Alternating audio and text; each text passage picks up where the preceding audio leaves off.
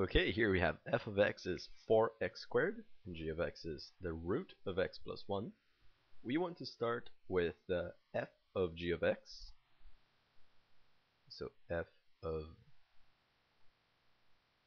g of x. And our inside function is the g of x function. And the outside function is 4x squared, which is f of x.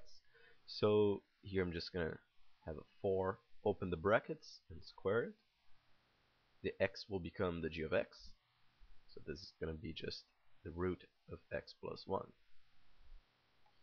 Okay. So that's just going to be 4 times x, root x plus 1 times root x plus 1. So we're going to have to distribute this first. Root x times root x is just x. Root x times 1 root x. 1 times root x, just root x.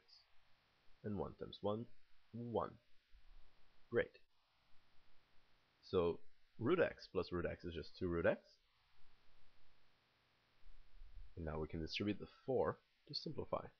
So 4 times x, 4x. 4 times 2x, 8 root x. And 4 times 1, just 4. And that's it. Okay, now we can do g of f of x.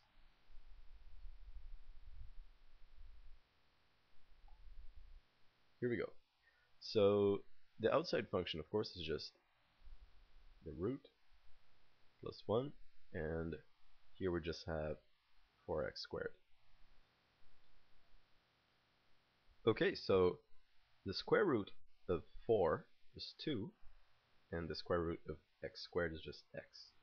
So the answer is just 2x plus 1, and that's it.